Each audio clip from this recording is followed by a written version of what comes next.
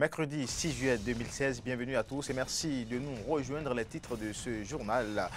Eh bien, la communauté musulmane célèbre ce 6 juillet 2016 la fête du Ramadan, la fête qui marque euh, la rupture du mois de jeûne, mois saint chez les fidèles musulmans. Vous aurez les images de la célébration ou de la prière de rupture de jeûne à Cotonou, à Calavi, impression de fidèles musulmans et message d'imam dans cette édition. Le président Patrice Talon, après son investiture, boucle ce mercredi 6 juillet 2016, trois mois de gestion de pouvoir. que peut-on retenir de ces trois mois de gouvernance? Vous aurez les réactions de quelques parlementaires dans un instant. Et puis hors du Bénin, 50 000 enfants risquent de mourir de faim au nord-est du Nigeria face à l'insurrection des islamistes Boko Haram. Voilà pour le sommet.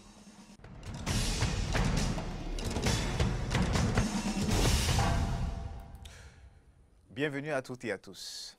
La communauté musulmane célèbre ce mercredi la fête de l'Aïd el-Filtre qui marque la fin du mois de jeûne appelé Ramadan. À Cotonou, les fidèles musulmans se sont, nombreux se sont rendus euh, ce matin à la traditionnelle prière à la place Idi euh, à l'aéroport, euh, la place Idi de l'aéroport, plutôt une prière dirigée par l'imam Isiaka Alao Ligali qui, dans sa prédication, a prôné la tolérance et le respect de l'ordre divin. Écoutons quelques propos recueillis par Rassia Dodi et Fréjus Sophie aussi.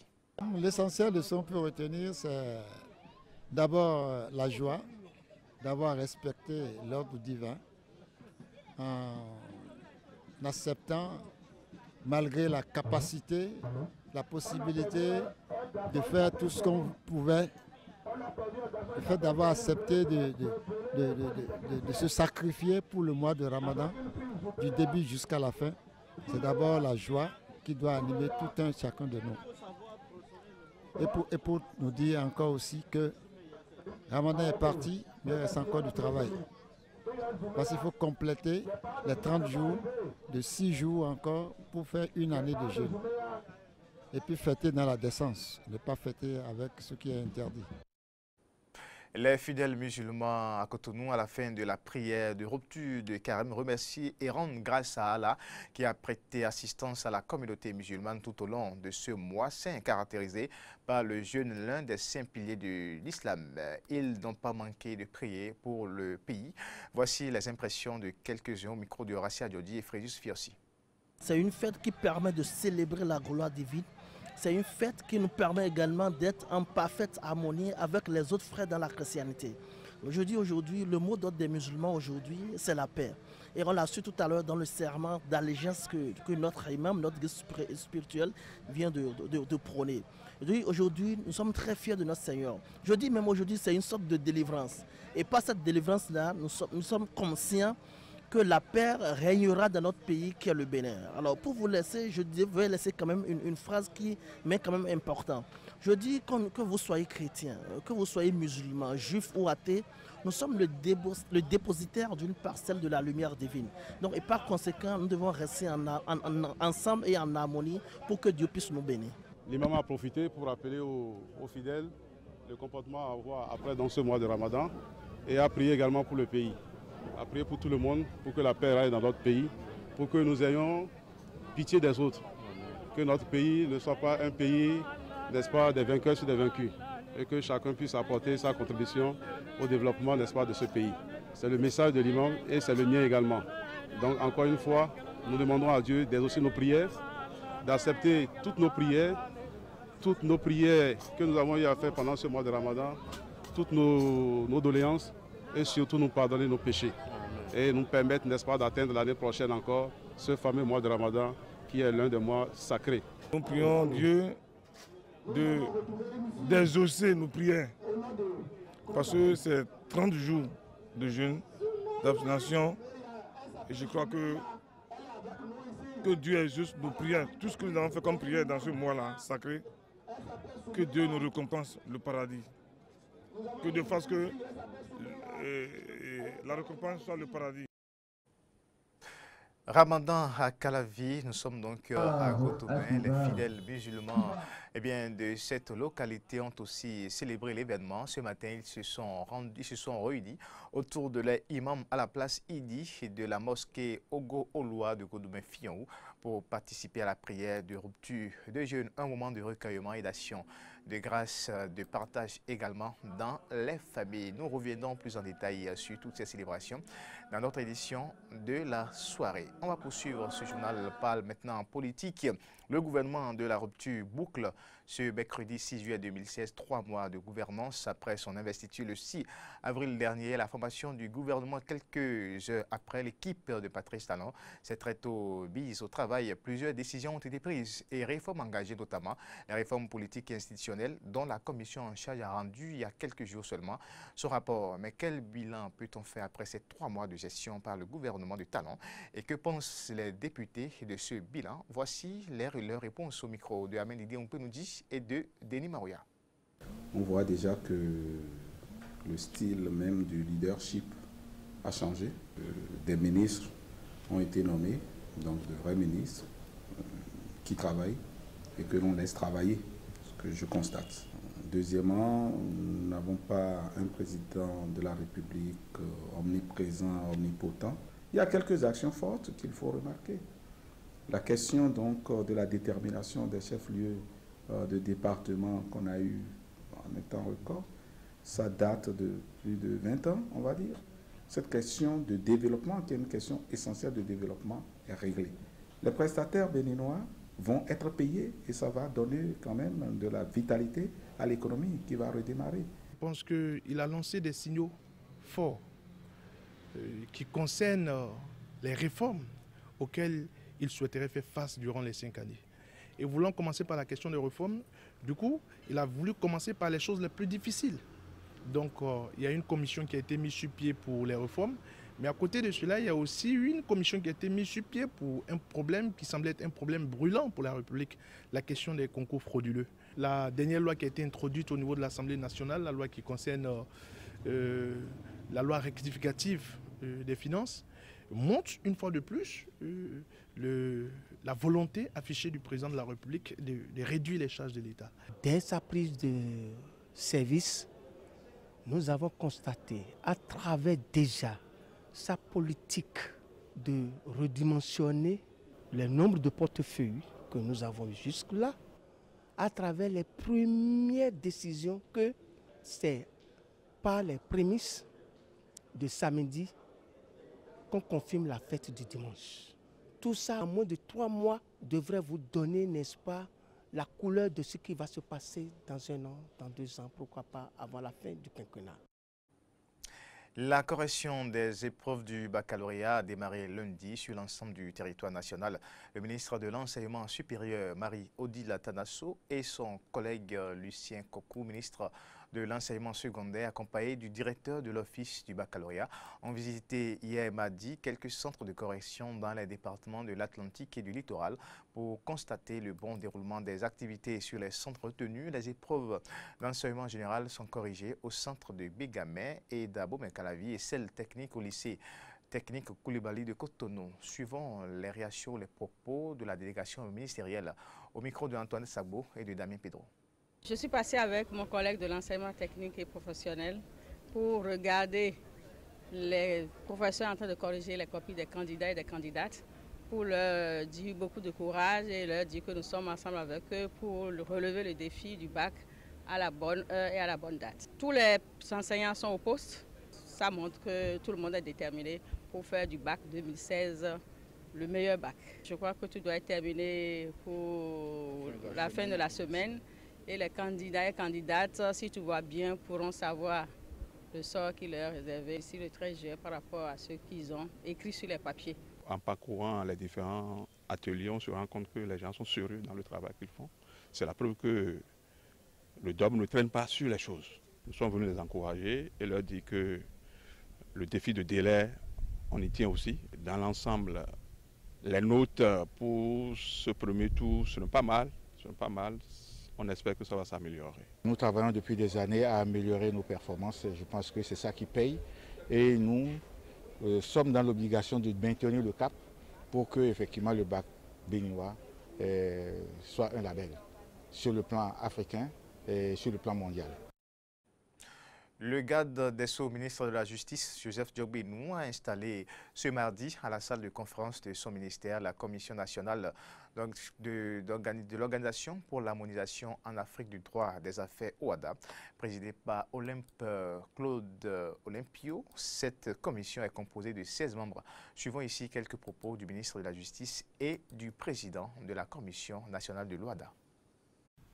En termes de droit commercial, en termes de société commerciale, en termes de procédure d'exécution, en termes de système de comptabilité, en termes de droit de travail, de droit des entreprises d'une manière générale, le pain pour l'avoir, le vin pour l'avoir, le toit pour l'avoir, le bien d'une manière générale, que nos citoyens, auxquels nos citoyens aspirent, sont réglés en grande partie par le droit au WADA.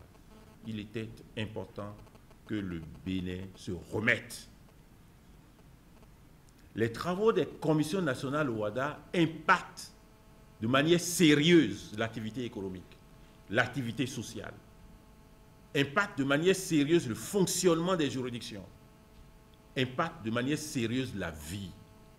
C'est pour cela, mesdames et messieurs, qu'il est tout aussi important pour le gouvernement et pour le ministère de voir réactiver la Commission nationale Mesdames et messieurs, vous n'aurez pas de répit. Le Bénin attend beaucoup de vous. Le gouvernement attend beaucoup de vous. Et l'OADA attend beaucoup de vous. Nous avons des avis à donner sur des, projets d'actes uniformes. Nous avons des activités à mener pour rendre dynamique notre participation à l'OADA. Et je veux espérer que chacun y contribuera de la manière la plus élevée possible. C'est sur ces mots que je déclare installer la composition actuelle de la Commission nationale OADA du Bénin.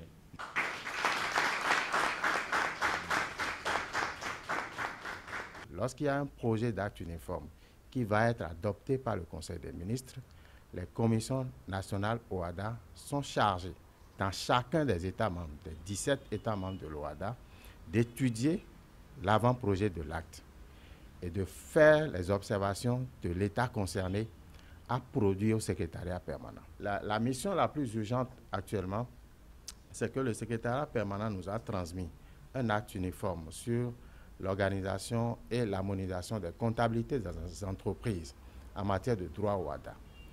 Et donc, nous avons 90 jours pour produire les observations du Bénin. Le délai a déjà commencé à courir depuis le 8 juin. Et donc, si nous ne faisons pas vite, c'est comme si nous serions fort clos. Et donc, la tâche la plus urgente de la Commission aujourd'hui, c'est de produire les observations du Bénin sur l'acte uniforme qui a été soumis. La deuxième étape sera la relecture du cadre réglementaire. La police nationale intensifie ses mesures de lutte contre l'insécurité au Bénin. C'est grâce à ces stratégies que trois malfrats ont été appréhendés au cours d'une opération menée par le commissariat d'arrondissement de Vaudier, la brigade de recherche et d'investigation Bierry et la brigade anticriminalité BAC. Suivons ici les explications de Hugues Hervé Sedlé, commissaire de deuxième classe au commissariat de Vaudier à Cotonou et Richard Akodande, porte-parole du commissariat central de Cotonou. Nous vous présentons ce soir les fruits d'une intervention conduite par le directeur général de la police nationale, le contrôleur général de police, Idrissou Moukaïla, de connivence avec le commissaire central de la ville de Cotonou, le commissaire principal de police, Agro Lambert. Au fait, la hiérarchie policière a appris qu'une bande de mal intentionnés allaient attaquer une dame dans la cité de Ouého, à Vodjala. Une équipe a été mise sur pied, composée des éléments de Vaudien, de la Biéry et de la BAC. On a attendu, c'est la loi qui était venue sur les lieux et on a constaté la présence policière, ils ont ouvert le feu avec des armes perfectionnées. Ça veut dire avec des AKM. Il était un homme de 5 Deux ont pu échapper. Le gros que vous voyez tous les jours opérer là, de thé noir, et celui qui est au CNHU blessé, ce sont les deux là qui sont les chefs de bande. Le gros a pu s'échapper avec celui qui est au côté gauche, en boba bleu. Celui qui est en boba bleu, on a pu le prendre jusqu'à Misrité le lendemain. On a pu découvrir sur ce qu'on a pu prendre la nuit là, sur place, que cette petite arme que vous voyez ici, il n'y a pas de petite arme. C'est une arme avec cette munition. Ils ont ouvert le feu, même avec cette arme-là, et les deux AK. Nous vous disons que l'un d'entre eux, surtout celui qui est au CNHU, qui s'appelle Rouget, je ne rappelle pas son nom de famille, je tais son nom de famille, il a été identifié sur caméra dans un braquage à Misebo. Et le même qui est au côté gauche l'a aussi, aussi identifié. C'est pour dire que l'institution policière ne dort pas. Cette fois-ci, ils sont venus debout, ils sont partis debout. La prochaine fois, ils viendront debout, ils partiront coucher. Je voudrais ici reconnaître et saluer l'implication et la collaboration de nos concitoyens dans la traque contre les hors-la-loi. Et c'est le lieu et l'occasion également de demander à nos concitoyens, chacun en ce qui le concerne, de s'impliquer davantage pour que nous puissions chasser de nos rues les criminels afin de distiller dans la population la sécurité, la quiétude et la paix dans toutes nos campagnes et nos villes. Actualité sur le continent. Selon les Nations Unies, 9,2 millions de personnes souffrent d'un déficit alimentaire dans la région du lac Tchad touchée par les violences de Boko Haram aux confins du Nigeria, du Niger, du Cameroun et du Tchad. Au Nigeria, 50 000 enfants risquent de mourir de faim. À tout juste un an, Alima pèse 4,5 kg à peine plus qu'un nouveau-né. Dans ce camp de fortune, à Maïdougouri, une équipe de l'UNICEF la soigne et tente de lui redonner des forces. Alima fait partie des nombreux enfants qui souffrent de la faim dans la région. L'insurrection des islamistes de Boko Haram a coupé les vivres dans les zones isolées du nord-est du Nigeria, forçant les familles à fuir leur foyer. On a environ 7 nouveaux entrants par jour, mais parfois 10, parfois plus de 10. En trois mois, nous avons accueilli 363 enfants souffrant de malnutrition sévère. Le groupe islamiste Boko Haram a dévasté le nord du Nigeria et la région du lac Tchad ces sept dernières années. Près de 20 000 personnes sont mortes et plus de 2 600 000 habitants ont été chassés de chez eux. La reconquête des territoires par l'armée a mis en évidence les dégâts provoqués par le conflit. Selon l'UNICEF, 50 000 enfants risquent de mourir de faim. Nous ne cherchons pas à trouver des coupables. Nous voulons que tout enfant mal nourri soit soigné autant que faire se peut. Les ONG et le gouvernement en font beaucoup, mais ce n'est pas assez. On peut faire encore mieux. Et la situation évolue rapidement. Ici, dans le camp improvisé de Muna, 16 000 déplacés essaient de survivre. Les conditions d'hygiène sont précaires, les soins médicaux et la nourriture quasi inexistants.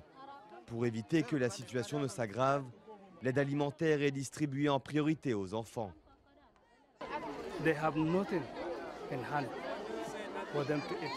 Ils n'ont rien à manger.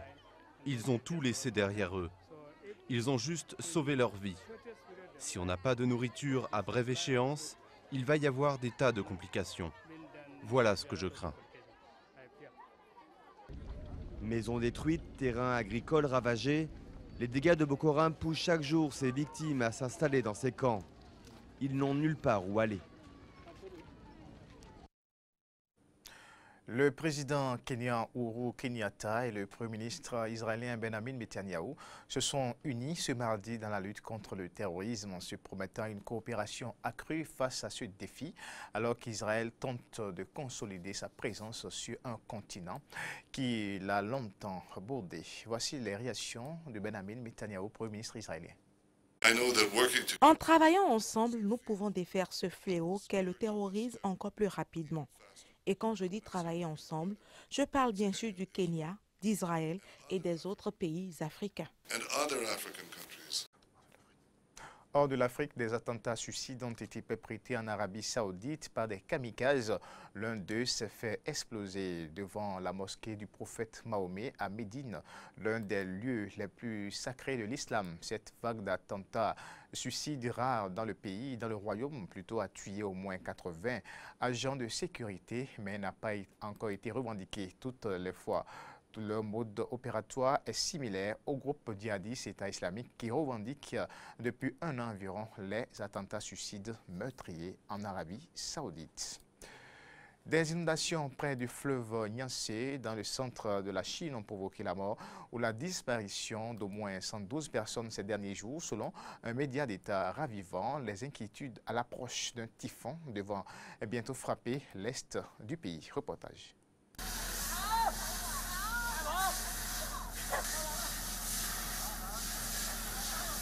Selon Beijing News, qui fait référence au ministère des Affaires civiles chinois, environ 16 millions de personnes ont été affectées par les pluies torrentielles qui ont récemment entraîné l'inondation de vastes zones autour du premier fleuve de Chine. Depuis 62 ans, les eaux de l'immense lac Taewu, non loin de la métropole de Shanghai, n'étaient pas montées si haut. Et les conséquences sont là. Sur les réseaux sociaux, on voit des images d'un géant stade du centre de la région transformé en une grande baignoire. Ailleurs, impuissants, des agriculteurs restent sans espoir face à la montée des eaux qui menacent leurs fermes. Les inondations ne sont pas rares dans le sud-est de la Chine durant la mousson estivale, mais cette année, les pluies se sont révélées très abondantes et les précipitations devraient continuer d'évoluer vers le nord cette semaine. D'autres pays du sud-est asiatique ont aussi subi des inondations cette semaine et le bilan est lourd, 33 morts au Pakistan et 25 en Inde. Fin de cette édition. Merci pour l'attention et bonne fête de Ramadan à tous nos frères musulmans. À demain.